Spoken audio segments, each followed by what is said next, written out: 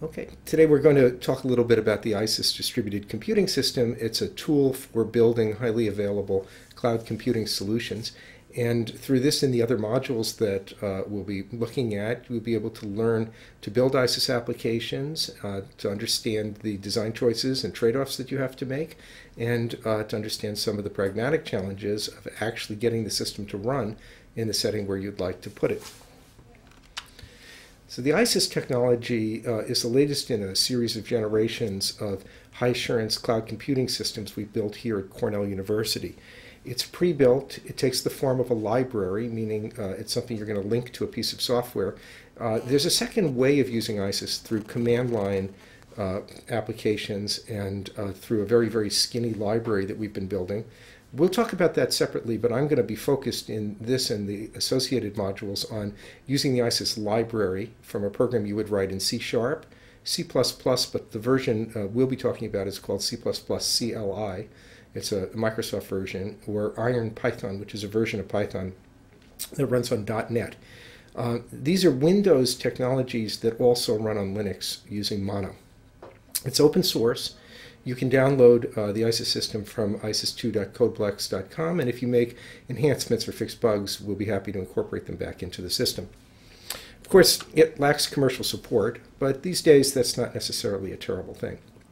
So the library uh, is based on a model that I'll be telling you a bit about that merges two theoretically rigorous approaches to distributed computing. One is called virtual synchrony, and the other is called the dynamic uh, version of the Paxos state machine model. They're quite powerful. There's a strong mathematical background for them. We can prove things about these kinds of protocols, and by embodying them into this kind of a library, you're able to use them without having to rebuild them from scratch. And the goal is to make it easy for you to get highly effective but also very strongly assured applications with a minimal amount of, of hassle.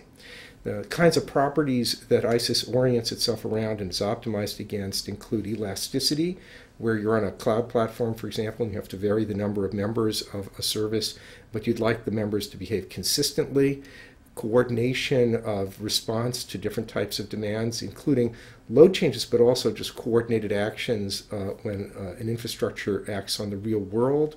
We have to also overcome cloud type issues like scheduling delays, bursty message loss, um, and uh, we have to do all of that with good scaling and responsiveness. So this is quite a challenge. The community has been quite skeptical about whether it's feasible, but as you're going to see and hopefully experience, it's really not that hard to do with the right tools in your hands. And here at Cornell, uh, with many years of experience building such tools, uh, we think that we've created an infrastructure uh, and that it's become really pretty mature that can lead you to good solutions. So the main library, as I mentioned, is written in C Sharp. And I'll be using C Sharp for my examples. If you know Java but don't know C Sharp, you'll find the transition really is pretty easy. Uh, and if you work in other languages, C++ is the one that's easiest to use with ISIS. And I think Iron Python is quite viable. Um, you can move those applications uh, from Windows to uh, Mono, and you can actually do development on Mono if you prefer to do that. A lot of our experiments are really done on Mono. There isn't a particular advantage to Windows versus Mono. Uh, but I happen to like Windows for development, and that's the examples I'll use in these videos. And I hope that won't confuse you if you're not a Windows developer. Um, but really, the tools are very analogous to, for example, the mono, mono editing and debugging environment. If you do decide to work with Mono, you won't need root access, but you will need to install the Mono package on your system and point uh, the library uh, headers to it so that uh, we can compile our code. Uh, as I mentioned before, uh, ISIS has an, what we're calling a kind of an outboard motion model where you can use commands uh, in Linux or Windows to talk to it. I'll talk about that separately, but you won't hear about that in this set of modules. Um, but it's quite nice, and in fact, we're hoping that over time, Hadoop and HDFS users might come to uh, benefit from the ISIS functionality through those command interfaces. So uh, why use ISIS? It's, it's the latest in a, a, long series of systems we've been building here at Cornell University that try to embody high assurance techniques into small tightly bound up packages that are mathematically robust. We really try to analyze them, in fact, sometimes using theorem proving tools, and at the same time are engineered to perform extremely well under cloudy conditions.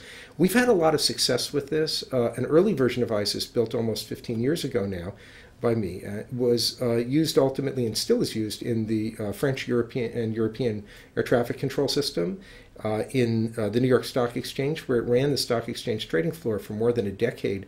There were plenty of failures during that period of time, but ISIS helped them orchestrate a kind of seamless self repair. US Navy Aegis. There were all sorts of chemical plants, telecommunications switching systems that used ISIS. A very powerful system and quite popular. We built other systems after that here at Cornell. Uh, we built a system called Horus, which was the son of ISIS. Ensemble, which was a, a rebuild of Horus in a high level programming language. This new version of system, uh, calling it ISIS 2 or ISIS squared, depending on my mood, but this new version of ISIS uh, is really uh, a revisiting of those old, older ideas, but repackaged and rethought to integrate them tightly with environments like C Sharp and the Windows development setting .NET. Um, so it's our best our best solution. I should say uh, I kind of prefer to call it ISIS 2. The ISIS squared business is a kind of reference to uh, Amazon using EC2 S3. How could you outdo that? I came up with ISIS squared, but then I decided it was an inside joke. So you know what the joke is, but call it ISIS 2. Um, and what does it do? Uh, as I said, it's a library, and uh, the purpose of using this library is to be able to build resilient, secure, consistent services that run at multiple locations, often in a data center. It might be uh, a cloud data center like EC2.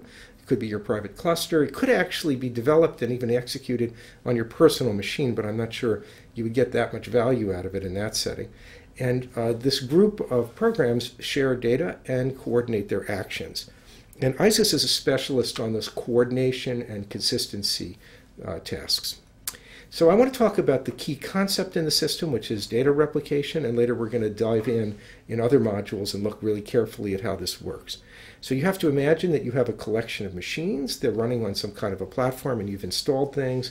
You've uh, made holes in firewalls if that's a necessity, which it often is. Uh, if you're a Linux user, you've adjusted IP tables to let our packets route from machine to machine. And what we now have is a set of programs that can talk to each other. And what ISIS is going to do is it's going to automate doing that for you so that with very simple system calls, you can get this kind of powerful functionality. And we'll say the data is replicated if a set of programs share it. So here we have an example. We've got a fellow who's using some kind of a computer system, and perhaps this person is working on an iPad some other kind of a client system, a desktop, and talking over the network to a cloud platform, or perhaps the application is, is a sensor, uh, some other kind of a, of a monitor of the real world, a video camera. I'm showing it as a person. And he talks to, to a service, and when, when his request is finally received in the service, that might be the first place where we focus on using ISIS. So ISIS um, could live in lots of different settings, but generally it's used by applications hosted on a cluster or a cloud. And in the, these modules, I'll focus on that case. So in a traditional cloud setting, you'd have a picture like the one we have here, where the user would issue some kind of a request either through a browser or perhaps an application program using web services where you can do remote procedure calls, but they're handled through web pages and it looks just like a browser technology under the wire, under the surface. And then computing occurs on behalf of that user. Maybe we look something up in a database, check to see if his wine cellar has the bottle of wine he's looking for, or maybe we're adjusting parameters for somebody's medical prescriptions, and that could be a doctor in a doctor's office. You can imagine lots of scenarios. And then a reply comes back. So that would be your typical cloud hosted web service. And with ISIS hat, what we're doing is we're going to have that service peering with counterpart services which are replicated across the cloud. And the idea here is that they share data. That could be in memory data, maybe just a table or a list. Many of my examples will be of that form. Or could be a fancier thing, like they could be monitoring and managing a database, and maybe they even have multiple replicas of that database. But for this slide set, let's assume that they're managing data that's in memory, and each one of these programs has its own private copy of that in-memory data. And our goal is going to be to keep those copies consistent. And what do I mean by that? Well, if we have to update the data in response to this fellow's request, we want all of the copies to get updated. And how are we going to keep them consistent? We're going to apply the same updates in the same order. And that will be an example of something ISIS does for you, although we'll see it does many other things that you need to worry about in this setting too. And so now I'll just comment that whereas before the delay before you could respond to the client was entirely local to that first green execution timeline from top to bottom being from when the request arrived to when a reply was sent, now we've got this additional delay associated with updating the other copies. And you can see that in the picture. So although there's a group of programs, I want you to notice that the programs didn't directly share memory or have any other special magic way to have access to replicated data. It's getting replicated by the fact that they joined this group and sent each other messages. ISIS is a very mechanical kind of thing in that sense. You have to send the messages and then process them by applying them to your data. You'll also have noticed that uh, although there's a group of programs, the client still is talking to one representative. Now, if we had thousands of clients, they might be load balanced across the group of four. But each individual client is talking to one representative, and so if the request needs to affect the whole group, it has to be relayed out in some kind of a fault tolerant way, and you'd have to program that, although it's not hard to do with ISIS.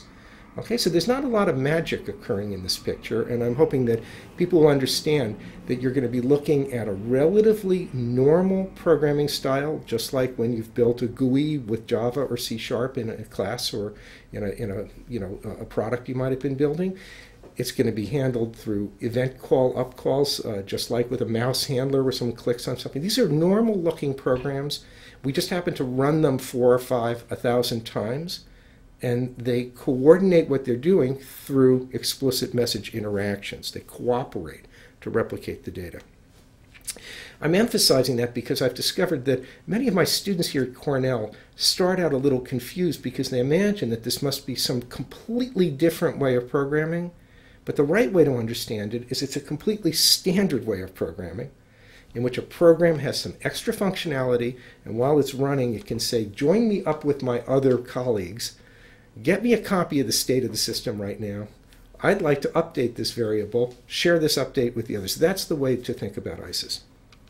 And it's doing those steps for you, and we'll show you some of them. So let's step back and think about how to use ISIS to build an application. And the first step turns out to be to draw a picture on the whiteboard.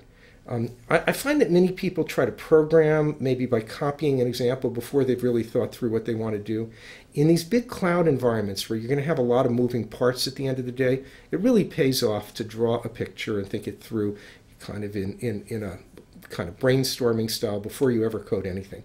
So you've seen the kind of picture I have in mind. We have a client system and functionality we might put there. You could think about caching data there, how that client interacts with the external world a service that the client interacts with, what, what part of your state needs to be in the service? What part should be in the client? Uh, you may have to think about how you're going to control the network between them. ISIS doesn't provide that much help at that level, although we do have some functionality here at Cornell that could help you with that. Uh, I won't talk about it in this module. Um, there may be data files or databases that the service needs access to, and you should draw a little picture of those too. And if you do, think about whether there's one file that's shared among the, say, four or 10 or a 1,000 service copies, or are there private copies, lots of them, one each? Makes a difference in how we design our application.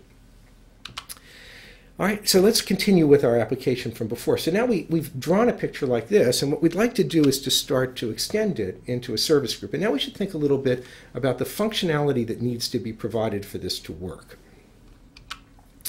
So one aspect is what you've seen before, in ISIS, we're going to provide you with what's called multicast functionality, which is a way for one member of a group, and it really could be any member of the group, to send an event to the other members who all process the event in the same order. And you can see in this case, two multicasts are done.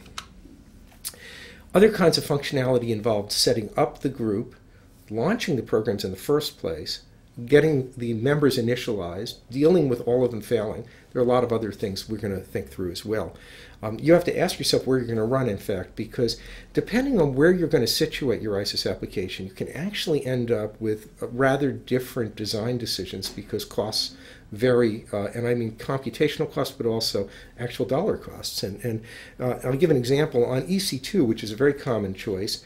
The cheapest configuration of EC2 involves running an application in what's called the soft tier uh, layer of EC2. But when those applications, which these are the, the, the, the two cents an hour uh, ephemeral machines, when those applications shut down, nothing is stored. Even the local files on the local file system are discarded. Uh, if you do work there, all your state has to be stored somewhere else in the global file system, the S3 file system. In contrast, you can spend more money and have an instance of a real virtual machine, and when it shuts down, it'll be saved, and when it restarts, it'll be in the same state as before. But it costs you a lot more money. And so, an interesting question to be thinking about is do you want to spend less but have uh, less uh, functionality and less guarantees, or do you want to spend more, uh, but is that extra expense paying off for you? Think about how people will connect to this service too. Now, um, I recommend that the next step be to build a non replicated version of your service, a first instance that doesn't have any ISIS functionality at all, but just interacts with the client in the correct way.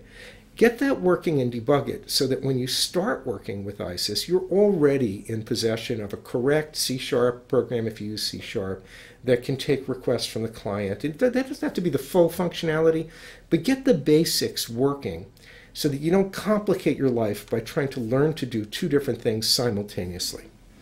Um, planning ahead and knowing that you're going to use a library in C sharp can argue that that's the moment to bite the bullet and learn a little bit about C sharp and try to do a development in C sharp so that when you get to the stage of using ISIS, it's easy to drop it in. Some people get stuck at this stage, I should say, because the fact is that, that working with the cloud involves steps you've probably never gone down before. Uh, renting virtual machines. If you're using Visual Studio, you have to tell it that you're creating a web service and then a web client. All of these are steps ISIS has nothing to do with. This just has to do with learning a style of computing. What I'll tell you is that uh, I've been programming in this field now for 35 years, and I was a little afraid to learn these new technologies myself. It's easy as a professor to sort of lock into one lifestyle. And it doesn't necessarily mean learning the new stuff. But I forced myself to learn these technologies, and it's really very easy to use them. Things have never been easier to pick up and use. And so the biggest obstacle, I think, is just breaking through, making yourself a cup of coffee, and say, Today I'm going to try to get something to say, Hello, world. So do that first. Now, if you already know C or C++, you may be saying, why do I have to learn C Sharp? If you're a Java user, why can't I just do it in Java? Well, I'm sorry that I didn't build ISIS in Java. Uh, I picked C Sharp because uh, I teach uh, Java actually, but C Sharp takes Java as its starting point and cleans up some things which I've always found irritating about Java. Uh, adds a bunch of very powerful functionality that I've ended up finding quite useful to use, and embeds it in a better programming environment as well. Eclipse, for all its wonders, is really a, a, a, kind of primitive environment in some ways. And I like Visual Studio. So um, I'm not going to tell you, I'm not going to sell you on Microsoft technologies, but I will say that for me coming uh, into this kind of a development for the fifth or sixth time over my career, um, these, these have been the most productive tools and environments that I've worked with yet. Uh, and I definitely recommend uh, learning them. And they're pretty easy to pick up and start to use because so much of what you need to know is just online and you can cut and paste or copy what other people have done. If you know Java, you're going to find a few days of work and you'll be comfortable in C Sharp. It's not going to surprise you in negative ways very often. Uh, so now you're ready to start to think about the replicated functionality of your application. You have to ask yourself what needs to be replicated. So one thing to understand about ISIS is that we're not going to just blindly replicate the whole program. That's not the way we think about it. What we do instead is we ask ourselves, which data in this program should I replicate? Then we can ask how can we get that replication to be most efficient and how can we guarantee that the properties, consistency, security, and other properties are aligned with the needs of my application. A medical treatment system might have very strong guarantees something that's monitoring traffic on a city street might have rather weak ones. And so, depending on what we're trying to do, we'll have design choices down the, down the road. But the place to start, the first design choice, is you started with a single program. And now what you're going to do is look at that program and say, which objects within this program need to be shared across the application and which can be kept local. And that distinction of things I share and things that are local starts you thinking about the notion of an object group, a process group, we call it, um, where information is replicated. Um, and ISIS is oriented around that type of thinking and model. Uh, you can also do computation that is split across the different members, which could be just as simple as saying my updates will be fully replicated, my reads will be load balanced. Or it could be more sophisticated, in which you'll say a request comes in with, say, an image, and I'd like to search an immense database, and I want a thousand computers to search in parallel, each doing different parts, and I want to make sure that every image in the database was checked against the image I just got. Different models lead to different designs, but ISIS is really designed to support all of these kinds of design choices. Um, it's helpful to think in terms of what people call a state machine, and, and, and, in particular a distributed state machine, and that means just what it sounds like. So, a state machine, of course, is some kind of a program where events trigger state transitions and we move through a sequence of states. And these programs that we're writing with ISIS very often look like state machines in the sense that you wrote them in, in, in C sharp. But what causes their state to change are events, and an event might be a request from an external client, a photo from a camera that, that you're monitoring a detection of movement at a motion detector. It could be any kind of an event. And then internally, when we turn around and replicate data, for example, the update becomes an event that everybody processes. Um, when you join a group or restart a group after total failure, you load in a checkpoint. ISIS presents that to you as a type of an event. One event is, can you please make me a checkpoint? And it's a it's delivered as a request to you. An event handler receives it. You make you make your checkpoint, and on the other machine that was joining or restarting from start, that checkpoint arrives as a series of load checkpoint events. Everything is event driven in this kind of a model. And what we mean by state machine is is that the group that's replicated, because remember, we're not replicating the whole program, we're replicating data within it.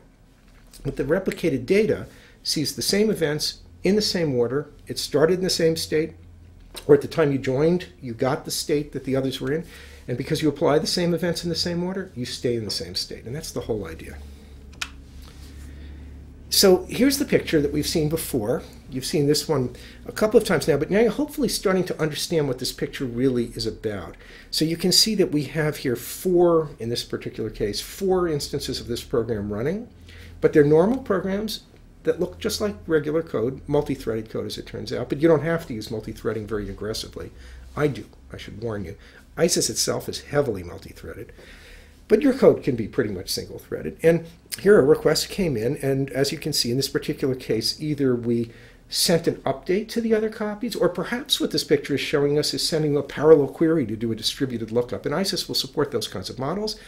And the group that we've written here, service group, now we understand that that's a kind of an entity in ISIS, uh, and I'll show you how you create one of those. And in this particular example, maybe we chose to host it on EC2. And as it's drawn here as a picture, it doesn't look like this particular group uses external databases or files. But I will comment that generally when I draw these pictures, any information that's local to a process, including files in the local file system on that node, I usually don't bother to draw pictures of those when I do draw pictures, it's usually because I'm showing you an entity external to the program, like a MySQL database that might not even be running on the same computer. I usually, in my pictures, limit myself to sort of big functional blocks that are independent of each other. And I draw these sort of timeline pictures for things, even if they are a program and its local files. It's a good way to design things. Now, from this picture, we can start to be much more concrete. Uh, you can start to ask, how am I going to repli- replicate state? What am, how am I going to represent it? How am I going to update it? When will I copy it? How will those checkpoints be created? Uh, how will I deal with replying to my external client? Maybe I don't want to reply until I'm absolutely sure that the group has received and, and is going to keep the request. Maybe I'm more in a hurry and I send a reply, a reply as fast as I can and, and sacrifice other properties. We have these design choices that come up. Uh, and in this set of MOOC modules, we're going to go through those choices and look at exactly how ISIS makes them. So let's replicate a group, um, and some data. And to do that, we're going to we're going to push a little bit deeper on this same scenario. So we have access to some kind of client-server technology, like Visual Studio may be used to build a visual application that talks to a server. Um, and now we're going to have this question of, of how to replicate data. And I thought I might start by asking, how would you do this if you had to do it by yourself without help from ISIS? Well, you'd start by saying, I'm going to need a list of who the other group members are, because if an update is supposed to affect the other members, I have to know who to send it to. right? Then, once an update occurs, you can run down that list and send those guys updates. So if you did replication version zero, that blue oval would be your list of other members. I don't know where you got it from. Uh, and these members are running. And now when a request comes in, maybe maybe we had some variable that the programs all have, call it x, maybe its value is 5, you can see we could perhaps set x to x plus 150. That's what we're doing here. And you would run down your list of other members and send them some form of, of operation, and they would do the update. Now, if you were doing this, you'd have to keep track of that group membership because suppose members join while they're running. How did they find out that X is currently 5 at the beginning or that it was 155 at the end? The joining member has to be given the correct version of the current state, right? So that would be one issue. Just keeping track of who's in the group would be important because if some members think the group is A, B, and C and others think that no, D, E, and F are included, you could get pretty inconsistent behavior because some will send updates to D, D, E, and some won't. And D, and they're going to they're going to get way out of sync. And then if you tried to send a request to the whole group, you could get chaotic responses. How would you even detect whether somebody has failed? Because on the cloud, delays are very very common. So just say, well, if I don't get a response in three seconds, believe me, you'll often not get a response in three seconds. You'd probably go and read the literature, and you'd find papers by Leslie Lamport, Dahlia Malkhi, Robbert Van Renesse, and you'd find many of my papers. And these papers were, you know, 30 or 40 years of work as we in the research community struggled to try to understand how to solve these problems really well. And there are more and more of them as you make your way down into the details of this. How you handle reliability. Hey, wait a minute, we should design security from the ground up. How are we going to do that? So what's happening with a system like ISIS is that we recognize through experience that this has become quite hard. And that by now, today, there are good stories for almost all of these things. But if somebody doesn't package them up for you, the chances of a developer who has an application in mind using the cutting edge story is really very low. And so that's why we came into this saying to ourselves, you know, the thing to do here is to build a package, make it open source, put our version of the best of breed stories in, the best is, uh, in this case, is sometimes stuff we develop. Sometimes actually ISIS is using techniques that other people developed and that I brought into my system. And by providing it to you for free, you have an easy way to pick this stuff up and build your own high assurance solution without having to solve all those problems from scratch, which would take you, you know, a while. Probably not the 30 or 35 years it's taken those of us who've been in the field the whole time, because you can read our papers, but you'd, you'd work on it for a while. This version of ISIS took me more than three years to build, by the way, and I built it myself, so if I was a team, it could have been done faster. But, you know, even with that, it would be a multi-year effort. So let's talk a little more about consistency. I've used the term. What I'm trying to say about consistency here, the key idea, is that replicated data is consistent if we can talk to any of the different copies, any of the different replicas, but we get the same answer as if we were talking just to one service that had one copy. That's basic idea.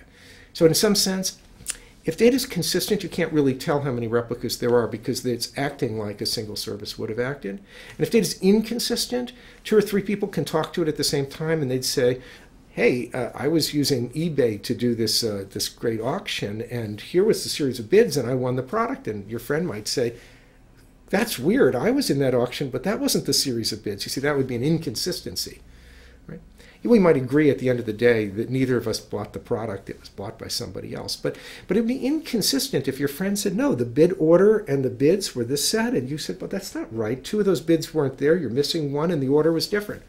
Those are all examples of consistency. So if we go back to our data replication scenario we could ask what does consistency mean for this? And we can see that uh, it would typically arise well, it already arose in some sense over this question of who's in the group in the first place. If this group should have had four members, or if really has three, we were inconsistent right at the very first step when we sent the update to four. But setting that to the side, uh, consistency also arises if there are concurrent events occurring, like in, in eBay, if two people are bidding on the same thing. Uh, or in this example, we've got somebody trying to set x to x plus 150. I don't know what that means. Uh, maybe raise the bid by 150. And we have somebody else setting x to 22. I'm bidding 22. I guess if this was eBay, they're going to lose. But you can see that, that these are con, con, inconsistent in the sense that if you process these events in, the, in different orders at the different copies, you leave x in different states. Right? So everybody had better do blue red or red blue, and everybody had better do both red and blue, or both blue and red, uh, or they're going to end up in an inconsistency. Look at how many how many things ISIS has to worry about here: who everybody is, what order things are done in, whether they're alive or failed. You can see why it's building up to being a fairly substantial effort. Here's an example of an inconsistency in this particular picture. The way I drew it, one guy ends up with X at 155, but the others have X at 22, and it's because one guy did red blue, but the others did blue red. And ISIS won't let that happen. It automatically puts things in the correct order uh, unless you actually tell it to not use uh, a fixed ordering, which you can do if you're sure about that. So inconsistency can come, if you see it, think about it this way, from many sources. Updates could reach members in different orders a message could get dropped and not transmitted again. The sender might fail while sending the updates. That's a hard case, actually. What you have to do in that situation is buffer them and retransmit them so that if, if I send you an update and I crash before I send my friend Harry an update, you turn around and send Harry the update. You got to build the software logic to do that. Membership. And all of this is hidden inside the ISIS library for you, but otherwise you would have had to do it yourself. Um, and failure handling gets very subtle. Let me show you a thing that we call split brain syndrome. And this arises when we don't agree on who's in the group. I alluded to the problem a few minutes ago. So with split brains, imagine you have a group that has I don't know four or five members, enough members so that you could you could split the group in half. Is that a big deal? Now, why might that happen? If you're using say TCP to connect to members, you might say, well, if a TCP connection breaks, that means the destination failed, but it doesn't always mean that. Sometimes the network itself can have a disruption that causes these TCP connections to fail. Same is true if you use UDP, you get timeouts. And an example of a disruption that can cause that would be somebody briefly unplugs an Ethernet wire in the data center, but then they plug it back in again all the TCP connections will break, and when they plug it back in again, you have to re-establish them, and otherwise, all the apps that were running over that connection see a connection failure. And if they interpret that to mean that the program at the other end failed, the kind of case that I'm going to show you now can arise.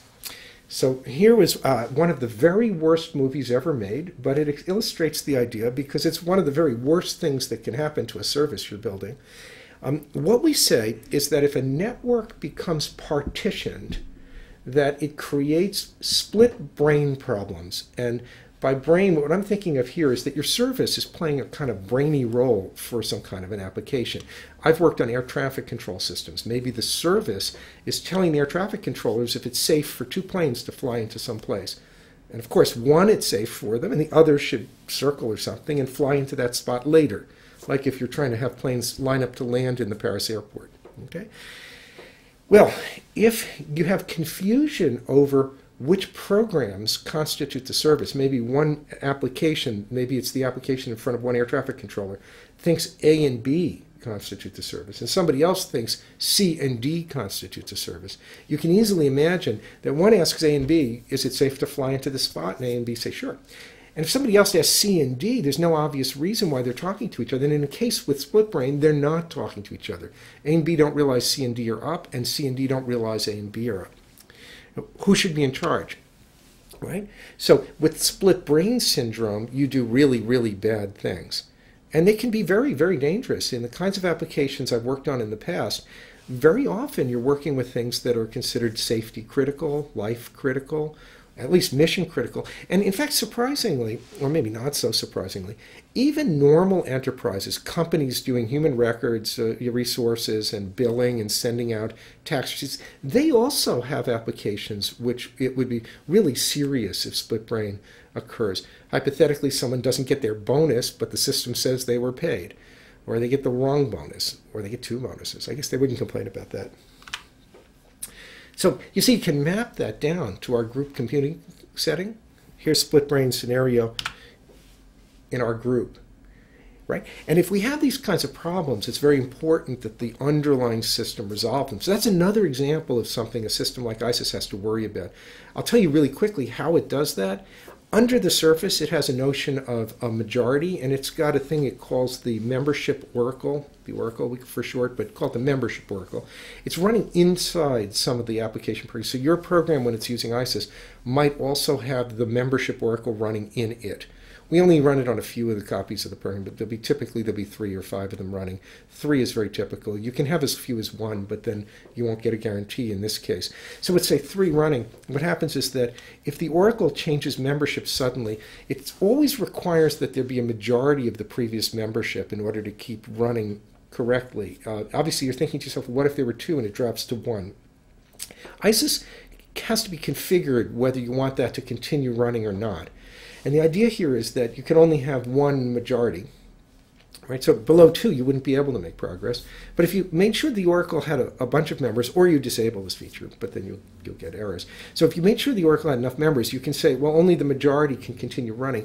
And that way, ISIS would be able to say the blue nodes remain alive, but the pink nodes lost the majority and can't run. And that's actually how ISIS will turn out to solve this problem.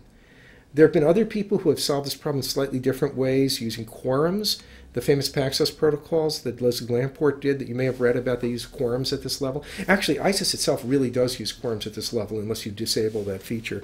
Um, but anybody who would build a solution to this kind of problem would have to solve that kind of, of issue, and it would be, have to be built way into the low levels of their system. Lots of systems need consistency. So I've mentioned a few. Medical computing systems need consistency, stock exchanges do. Um, lately, here at Cornell University, we're involved in an effort to build software to, to make uh, the smart power grid smart, to host the smart applications. Uh, those systems need consistency so that the uh, power grid controllers, who are human beings who, who manage the large scale power grid, so that they can do consistent things even when one group of controllers is in Ohio and another group is in Bedford, Massachusetts or something. Self driving vehicles, we hear quite a lot about Google's self driving vehicles. Those vehicles take a lot of information from the cloud the cloud hosted services talking to the cars need to offer them consistent information. Uh, control systems for chemical plants, but as I said, even payroll and human resources, you name it, uh, and it turns out you find needs. Now, we struggle in this area against the problem that trade offs are intrinsic. So, this is a picture of Eric Brewer, counterpart of mine. He's a professor at Berkeley, quite well known. And Eric pointed out that at the end of the day, you almost always have trade offs. The famous theorem that everyone attributes to him is called the CAP theorem. Uh, he actually posed it as a, a more of a, a, a, premise or a conjecture, and then it was proved for a certain setting by people at MIT. But what CAP says is that you can have at most two out of three of consistency, and we've been talking about that, availability, which means when I ask my service a question, I get a prompt answer, and partition tolerance, which means it keeps running when the network partitions. Um, and normally, it turns out, in today's cloud, if you use an app on your iPhone or something, you're seeing a service that relaxes consistency to guarantee all, uh, all the time availability even during partition tolerance, which uh, partitions, which might mean that, say, Amazon's East Coast data center is currently unable to talk to its Portland data center for some reason. So they always gives you availability in modern cloud applications. And, and in fact, this is sort of a general belief that the cloud has to have weak consistency. What we're going to see is that with tools like ISIS, that's not really true. And it's not just ISIS that can confer this kind of guarantee. I could tell you about quite a few other such tools. Zookeeper is famous. Google has written a bunch of papers on something called Spanner, which is a large scale consistent database system that they've been working with. And Google's Bigtable has consistency guarantees. Um, the Hadoop uh, and MapReduce systems have strong consistency. But for most applications that people build that run sort of in the scenario I showed you with a client and a service and they do quick response, generally people have looked at the CAPS theorem and said, I'll have to sacrifice consistency because I need such snappy response. So what we're going to see is that with ISIS, you can get that trade-off to run in different ways, and you can tune them to your application so that you can build a more critical application that needs consistency and still get very high levels of performance out of it. Although you may find that you do sacrifice some degree, for example, of partition tolerance. And take the example of my air traffic control system with the split brain. We don't always want availability and partition tolerance the air traffic system needs consistency even if the blues can run and the pinks have to be shut down. So yeah, it's a different trade-off. So ISIS comes to the rescue in such settings. what its job is basically is to make your job easier as a developer. Uh, as I've mentioned, it has a formal model based on protocols we can express mathematically and we can prove things about it. And actually, it's a set of modules, each of which embodies some of these kinds of complex protocols. It's also implemented to be fast, reasonably easy to use. We want it to be appealing. We want you to look at this and say, you know, I'd rather use this system than build something like this on my own. And we want to give you such good performance, even under difficult conditions, that we'll outdo what you could have gotten on your own easily in any case. Uh, and of course, that forces us to anticipate many styles of use, and it makes this MOOC a little more complicated than it would be otherwise. So here's an example of typical code written in ISIS. And I'm just going to run through the code uh, top to bottom, chunk by chunk, and try to show you what it's doing. Now remember, in your mind, you've got to go back to that picture of the individual program that was running normally, and then we ran more copies of it elsewhere. And there wasn't any magic, no shared state magically being. Everything is done by explicitly passing messages, okay? So this program what it does is it gets to a point where it decides to create a group to share some data. And it's going to create a group and call this group my group. And when you say group G equals a, new my group, what's happening is that you're asking ISIS to create a sharing context. Uh, G is going to be your portal into it. Very often, this would happen inside a class of your own, and we'd be creating a group, uh, an object of your own. And so you very often have an application object with its own state. And as a counterpart, you've got this ISIS object, which represents the sort of replicated state. Okay, G is our way into it. And now what we're going to do here, this particular application object has application state. So you see this uh, dictionary we've created of values. This is a, a C-sharp construct. Uh, actually, uh, Java has something very similar, but it's a little uh, uglier to use. Uh, but in general, uh, this notion of a list of things which have keys and values shows up in almost every language today. You see it in C++ and C and, and, and you name it. Um, and so, so a dictionary is a list of key value items that has a very rapid way to access the items using hashing.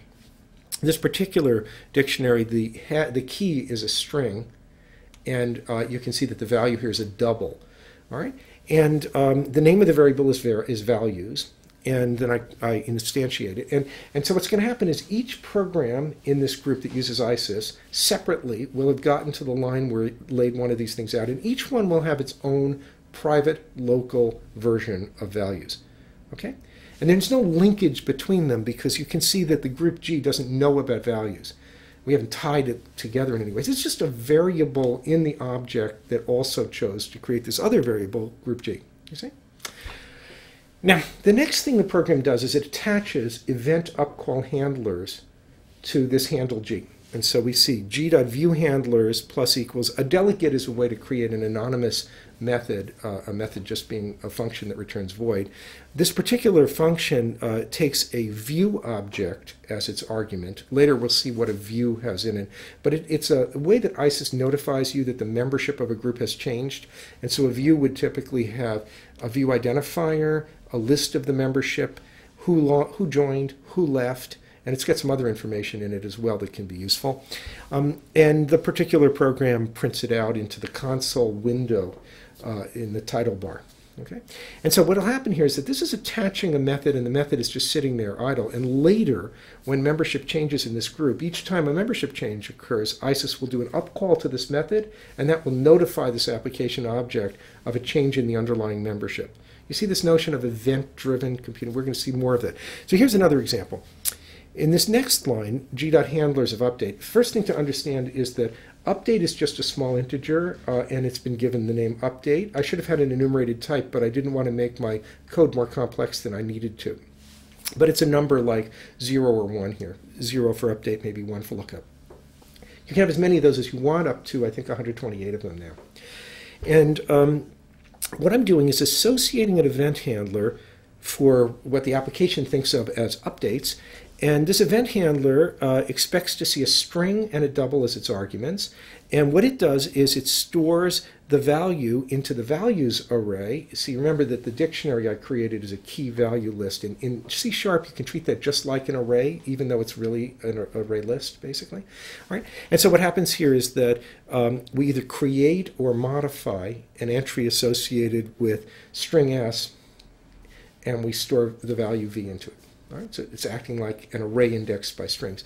And then similarly, the lookup on the next line attaches another handler. And here it expects a string, and this one looks into the value array to see whether we know a value associated with that string. It probably should be checking to see if it's there because it's going to throw an exception if it's not there, and that would crash this program. But I wanted to keep it very simple. Um, and uh, what it then does is it uses a, a, reply option that ISIS offers you, and I'll show you how that's used in a second.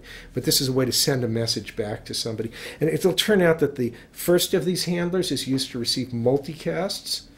One guy sends an update to many others.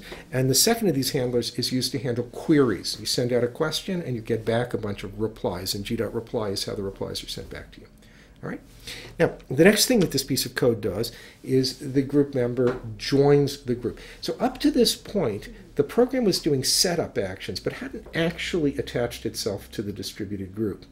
G.join does attach it, and what it does is it checks that the other group members have the same handlers and the same signatures. You can't join if you're not compatible with the group. If you enabled security, which I didn't bother to do here, it would also check that you're using the same security key as everyone else is using. And assuming that that's the case, your join is successful. We won't deal with that now, but this would be a point at which you could make a checkpoint in some existing member and load that checkpoint in this joining member to initialize uh, the values array. But we'll worry about that later. Now I can do sends. Here's an ordered send, which is one of a couple of ISIS multicast primitives. Ordered send means that even if concurrent ordered sends are done by lots of members of a group, Everyone sees them arrive in the identical order. And what do these ordered sends do? In this particular case, the ordered send uh, invokes the update event handler and passes in a string and a double. And you saw earlier that that was the expected type signature. And so a message goes to that handler and it gets updates. Okay? And each of the four copies, or five, or 20, or two, however many members happen to be in the group, separately and in parallel, gets invoked and each one of them will separately apply that update to its version of the values array. You see? And it's a sort of a one-to-many action, so we would think of that as an arrow going out to the other members of the group. You didn't have to say who's in the group because ISIS figures that out for you. It does a little interlock. That may take a little time. So g.ordered send might take a while to execute, but generally these operations are extremely fast. You should be thinking in terms of tens or hundreds per, per millisecond even. Okay, so you can really do a lot of them. All right. Now, I want you to, to, to, to again think about this distinction between local data and magically replicated distributed data because every time people have trouble with the picture I've shown you, it's because somehow they assumed that this values object had become magically distributed. And I just want to emphasize that each program instance has its very own version of that values dictionary. And what's keeping them consistent is simply that we're going to initialize them the same way, and then we're going to apply the same updates in the same order. Okay? So values is a local variable. It just happens to have the same name in all of the program instances. Didn't really have to. Different programs can join the same group if they're compatible. Um, they just have to do something compatible. This is a generic type, by the way. If you're not familiar with these, I know some people aren't, I'll just really quickly explain what it is. So a generic type is simply a type in which other types are provided as parameters. So when I say dictionary string double in angle braces, what that's saying is that it's a dictionary type, and a dictionary type in C Sharp is a, a key value storage list. Um, each element on the list has a key and a value. And here what I'm doing is saying that the key is of string type and the value is of double type. You could have put almost anything you like in for the key and the value. You could actually have put another dictionary in, but that gets a little mind-bending if you go down that route. Um, and uh, the name of the value uh, variable is values here. All right, and uh, and so now we go back to our picture, and we can see how ISIS is making your life a lot simpler because although this code is really simple, think of all the questions ISIS is grappling with that we talked about that you're not grappling with by virtue of using the library. You're not worried about who's in the group right now. ISIS had to figure that out for you. You're not worried about how to get these messages into order if they were sent concurrently. ISIS is dealing with that for you. You don't have to worry about messages being dropped and retransmitted. You don't have to worry about flow control. You don't have to worry about fragmenting big messages into small ones. So here's, here's how the query uh, is done. It really starts with a multicast. So when you do a query, you can see that the first part of the query is an indication of how many answers you're expecting back. In some cases, you talk to a whole group, but you want one answer. Sometimes maybe you want three answers, even if the group has a thousand members. This particular query is asking for members, for all the members to reply. And so this is the way that the caller signals to ISIS how many answers to wait for. Now, because it's a variable number, we have to have the ability to have a list of answers. And that's why we have a list of doubles shown here.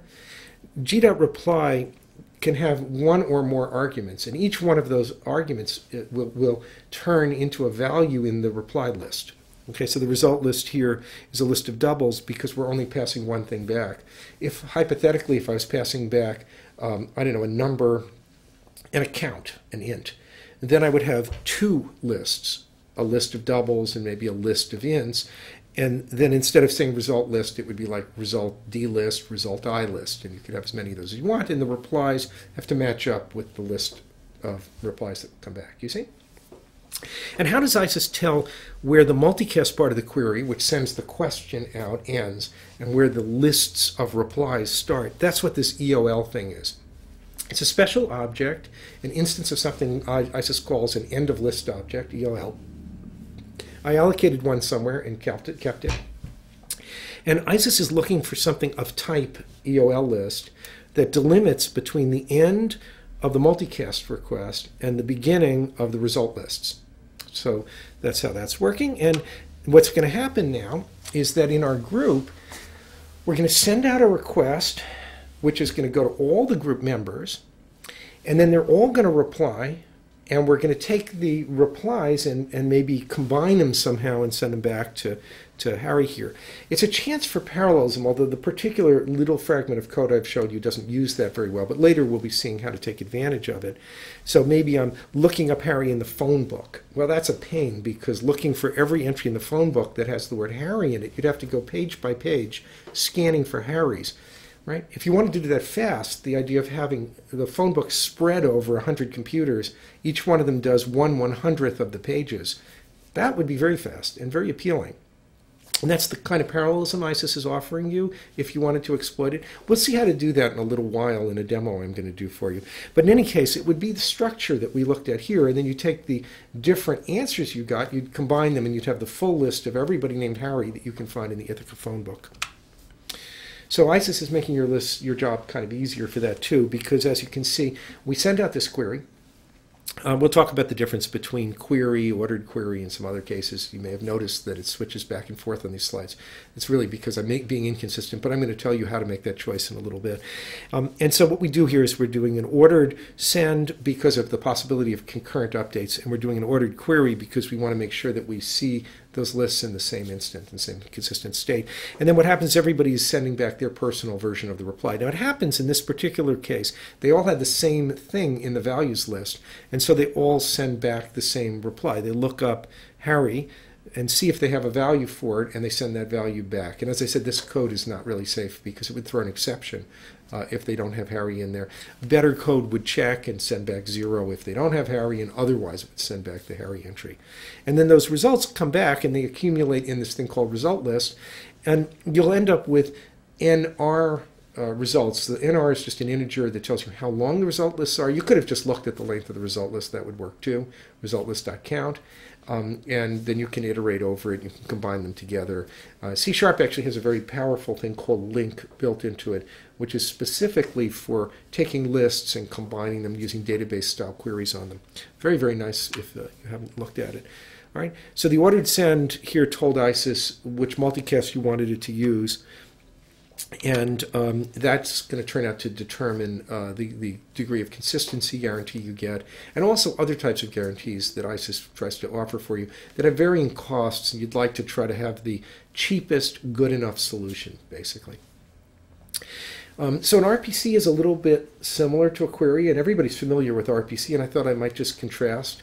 So with an RPC, you do a remote procedure call, and there's a procedure that takes arguments by value, and the client asks, and you it often can present it as if the procedure was local to the caller, and then he just does a call, and that stub handler packages it in a message, sends it over, it's demarshaled, processed, back comes the reply. And in ISIS, what's happening with the multi-query, um, and ISIS, I should say, has RPCs. You can do that if you prefer. If you have one member, you want to talk to that member. But with this kind of multi-query that we're seeing, ISIS uses a multicast that has some ordering guarantees. Same idea, though. It packages your request, sends a message. They all process in parallel, and they send back the responses.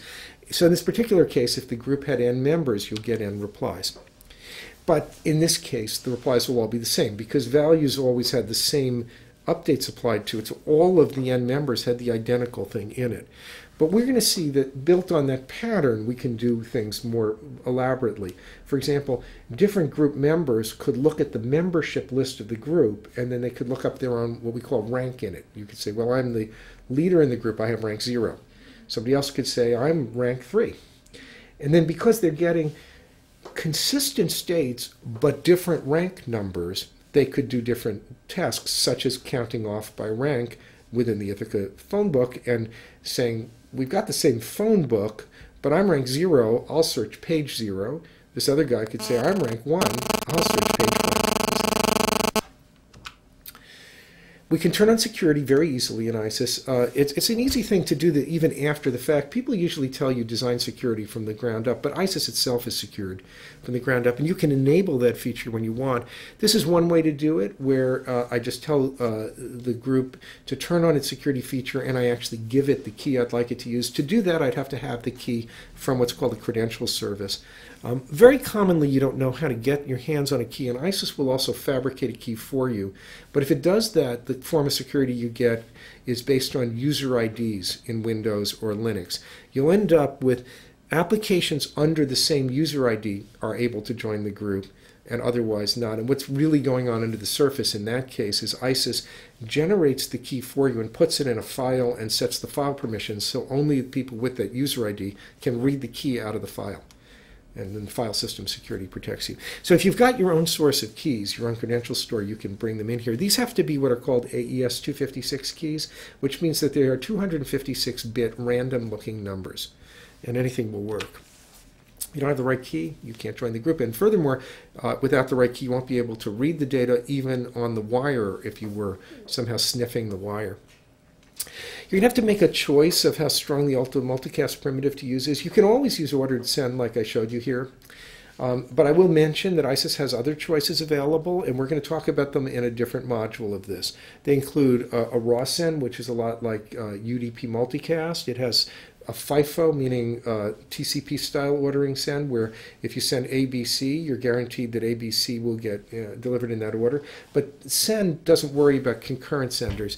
Ordered send does guarantee uh, things for ordered senders. There's a weird one called causal send. I'll say something about that later, but it's more for academics. Uh, it's kind of fun though as a as a primitive. It's uh, unfortunately the implementation in ISIS isn't very fast, so I wouldn't use it unless you're trying to impress your professor.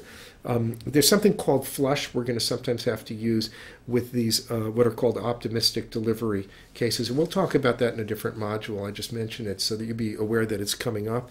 And these are the cases that are very fast.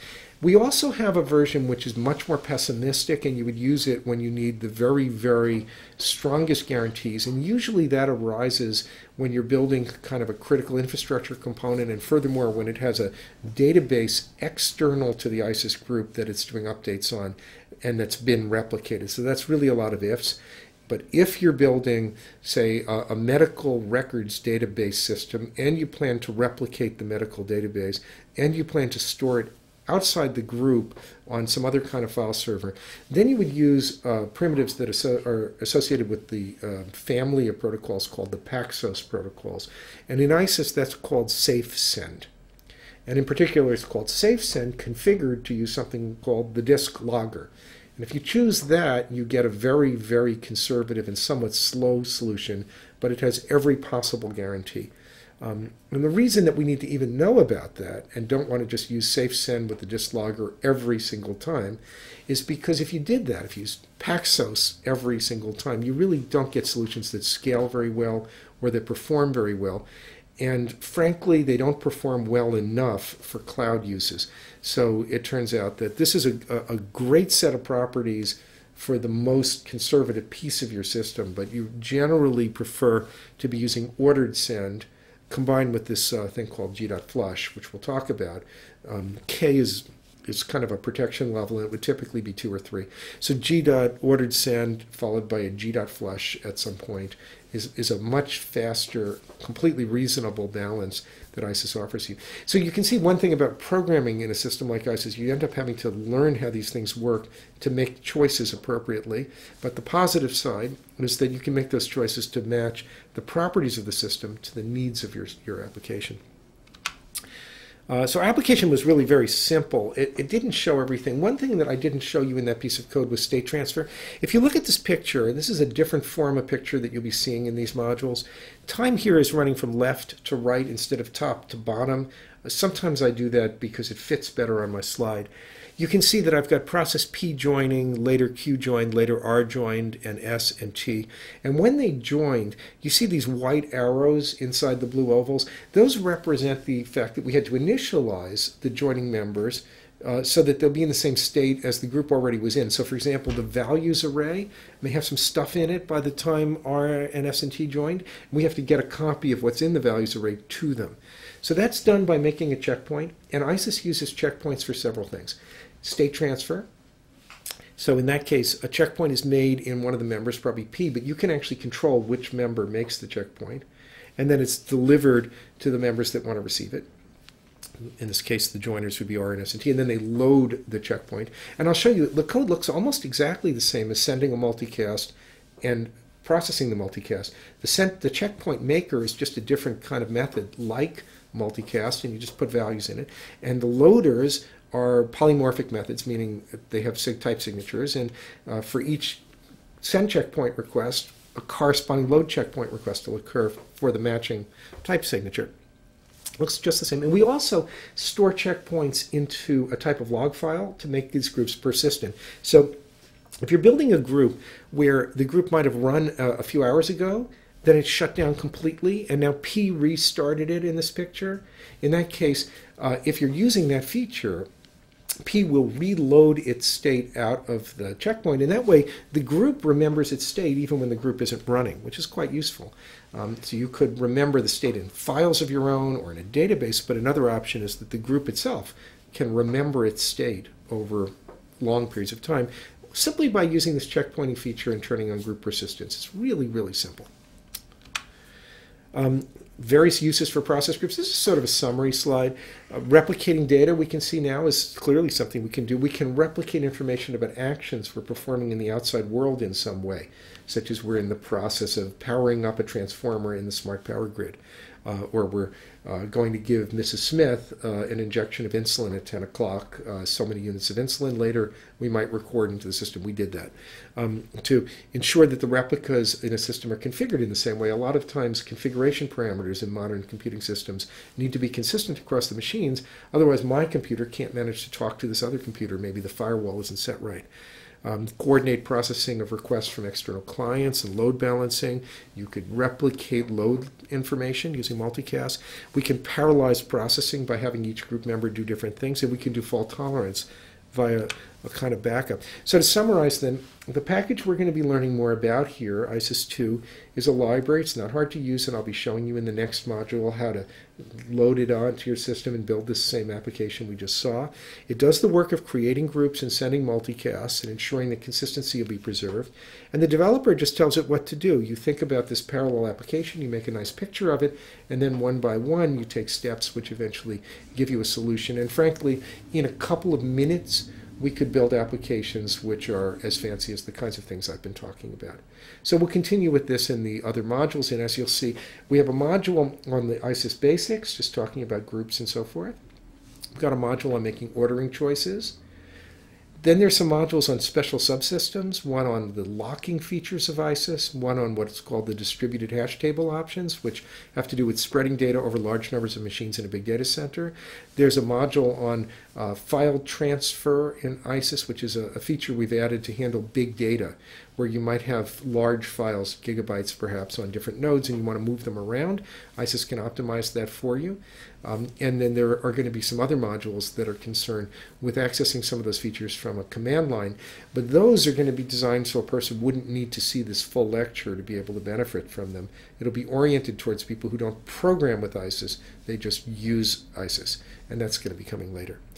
So we'll continue with this later. Let me just